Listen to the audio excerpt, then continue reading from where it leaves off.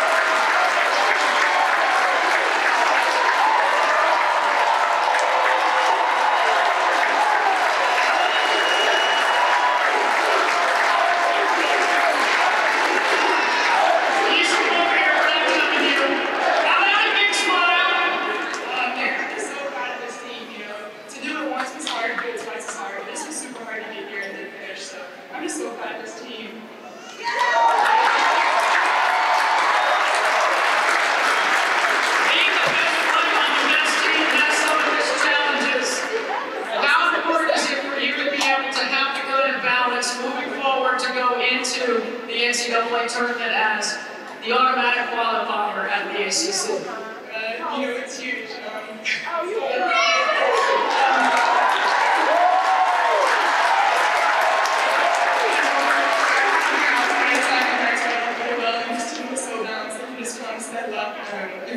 so I think it's really just a team effort, um, and I'm honored to get this, but really the whole team's an MVP for getting here.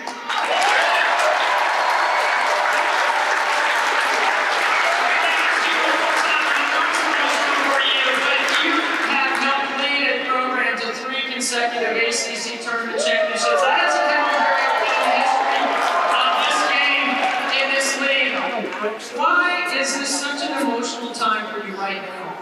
Uh, just because I love this team so much. You know, I came to NC State to elevate this program, to take it to new heights and build on our legacy. We've all done